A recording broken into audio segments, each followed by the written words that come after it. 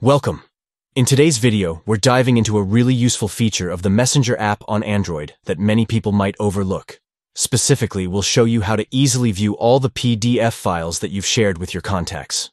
Whether it's an important document, a funny meme, or a work-related file, knowing how to access this information can save you a lot of time and hassle. So, if you want to find those PDFs quickly, follow these simple steps. First things first, grab your Android device and make sure you have the Messenger app installed. Open it up and get ready to check your chats. 1. Open the Messenger app on your Android device. 2. Once you're inside, navigate to the contact you want to check for shared PDFs.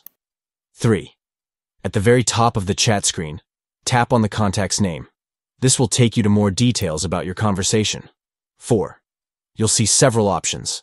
Tap on View Media File and Links to explore everything that has been shared. 5. Finally, select Files. This will display all of the shared PDFs between you and this contact, making it super easy to find what you're looking for. And there you have it. In just a few easy steps, you can locate all the PDFs you've exchanged with your friends or colleagues on Messenger. This feature not only streamlines your experience, but ensures you never lose track of important documents again. Now that you know how to view shared PDFs in Messenger, try it out for yourself.